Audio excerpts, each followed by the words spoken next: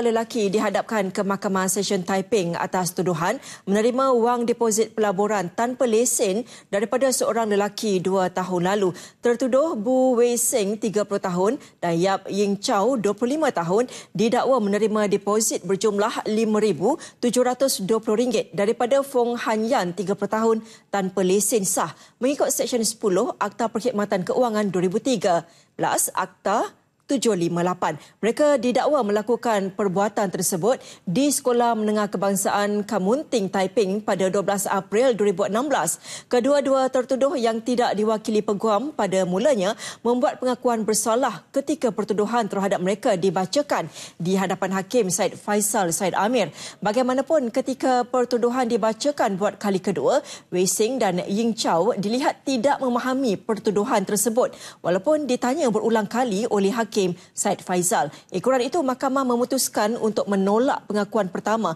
kerana dianggap memberi pengakuan bersyarat. Kedua-dua tertuduh, didakwa mengikut Seksyen 137 kurungan 1 atau Perkhidmatan Keuangan 2013 yang boleh dihukum mengikut Seksyen 137 kurungan 2 Akta Sama.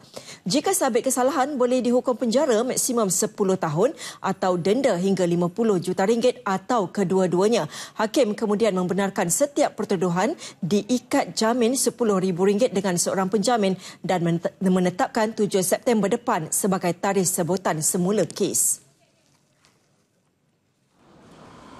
Sementara itu, di Mahkamah Majistret Butterworth, seorang pengasuh wanita didakwa atas